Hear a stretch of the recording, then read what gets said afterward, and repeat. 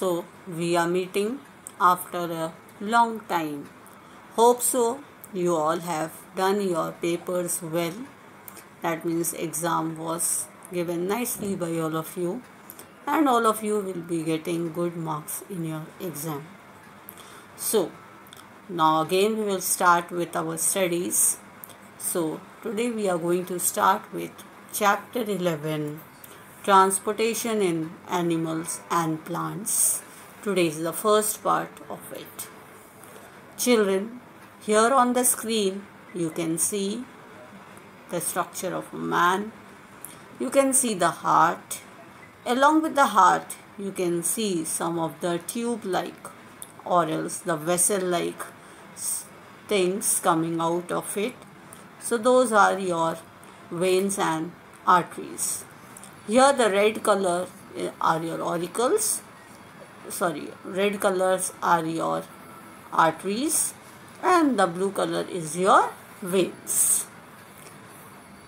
Children, as you have already studied in your many of the previous chapters that food which is containing lot and lot of nutrients in the different forms is required by our body and to require along with the food we also need water and oxygen for our survival. Oxygen we get from the nature as you know the plants they take in carbon dioxide and they give out oxygen whereas we human beings we take in oxygen and we give out carbon dioxide now, the need of all this is to transport all these things to the various parts of the body. So, how it takes place? The question arises. So, we'll deal with it. Apart from that, most of the time you might have experienced. When you run very fast or you perform any of the activity, your heart beats very fast or it beats rapidly. And this you come to know when you touch your chest. That means the left side of your chest somewhat which is tilted to your heart is placed towards the left side of your chest so if you just keep your hands over there you can feel the beating of your heart. What it is, how it is taking place, all that we will be taking up in the chapter.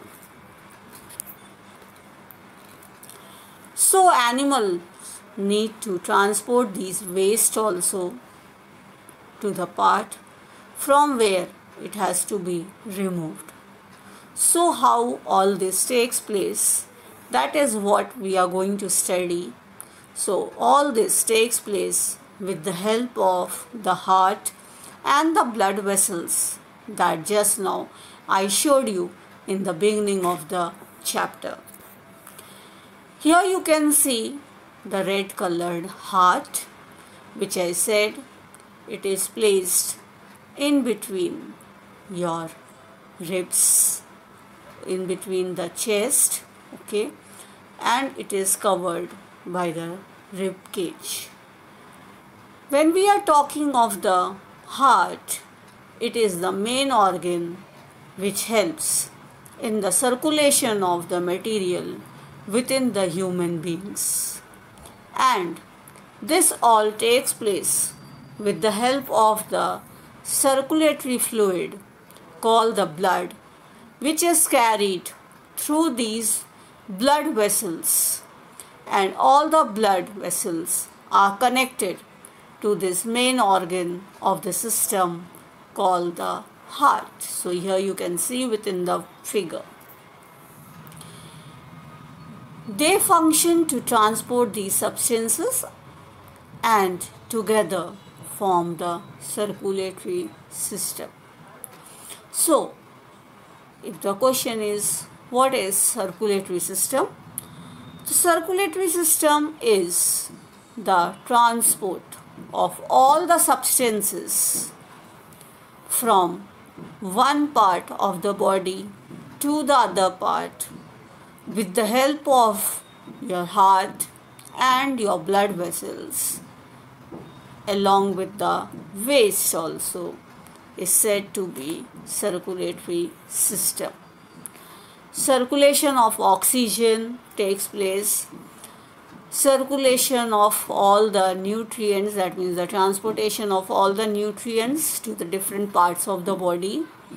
Removal of the waste products produced during your digestion elimination of carbon dioxide which is formed during the process of respiration so all these things takes place with the help of the three things either you can say the three major components of the circulatory system, which are said to be the blood, the heart, and the blood vessels. So, here you can see a human being which is having the heart in the center, and you can even see the veins and the arteries, how it is connected to the tip of the head as well as to the bottom, that is the toe of a person. Now, children, coming to the topic, you might have observed whenever you are playing with something, with some sharp edged thing, or when you are sharpening your pencil, or when you are playing with a sharp edged pen, might have seen you get a cut on your any part of your body. So at that time, something red colored thing come out of your body. So what is this red colored thing? This red color thing is the blood. So we say whenever we get any cut on our body, the blood flows out. Now what is this blood? Blood is a fluid which flows within the blood vessels. So I just now told you about the arteries and the veins. These are the blood vessels which carry this blood. It is one of the important tissue within the circulatory system. There are two components of the blood. We will be dealing about them. So this blood, it transports the substances like the digested food from the small intestine to all the other parts of the body. It also carries along with it the oxygen from the lungs to the cell of the body and transports the waste which is removed from the body. Now, how this blood carries all these various substances. So all this is carried through a liquid which is the blood which has cells of various kinds which are suspended within it. The, as I said, there are two main components of the blood. The first is the fluid component which is said to be your blood plasma. And the second, the solid component called the blood corpuscles or the blood cells. Blood plasma is colorless. It is a liquid which consists of about 90% of the water and the remaining 10% of the minerals such as sodium, potassium and calcium which are dissolved within the food as the waste products and the proteins. Blood consists of three types of cells. These three types of cells are red blood cells, white blood cells and the platelets. So we'll be discussing about all these three one by one. The picture on the screen is of red blood cells. These red blood cells are spherical in shape. When they mature, they do not have the nucleus. These red blood cells produce in our bone marrow and they have a lifespan of only few days.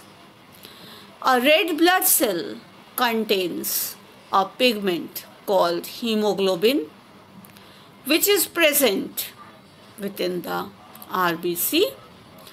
It is because of these pigments that red blood cells appear red in color.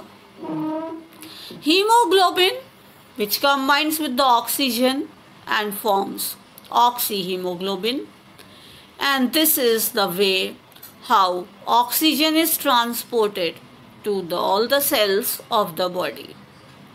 Once this oxyhemoglobin reaches to all the cell, oxygen gets separated from these hemoglobin and it is utilized by the cell. After the RBC, we have the second type of the blood cell and that is your WBC. When we talk of WBC, they are acting as a fighting mechanism. These are colorless cells. Their number is very few but are larger in size as compared to that of RBC. As I said, they act as a fighting mechanism, so they protect our body against the diseases by destroying these harmful organisms. So their number also increases when a person is suffering from any of the illness. They show amoeboid movement with the help of which they can reach to any site of the infection.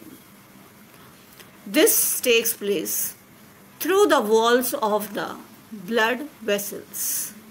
After the white blood cells, the third one is the platelets. The platelets are very smaller cells within our body. As you can say, they are the smallest cell within the body their main function is to help the blood in clotting. This you might have noticed that the blood stops coming out of the wound after the few minutes. It is because of these platelets. So the platelets prevent the blood loss.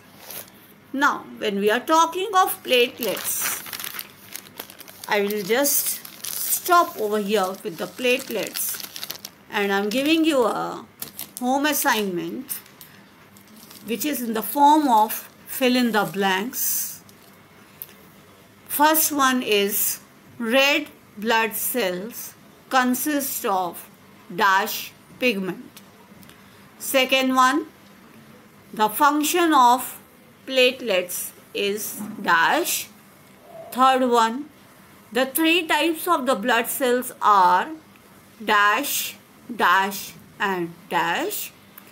Fourth one, the fluid part of the blood is called dash.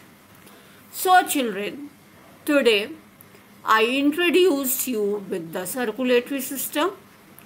I told you about the blood, its function and the three components of the blood along with the plasma.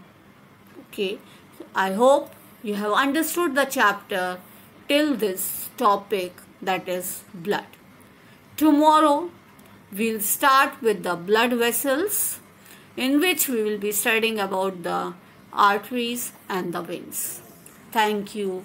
Take care.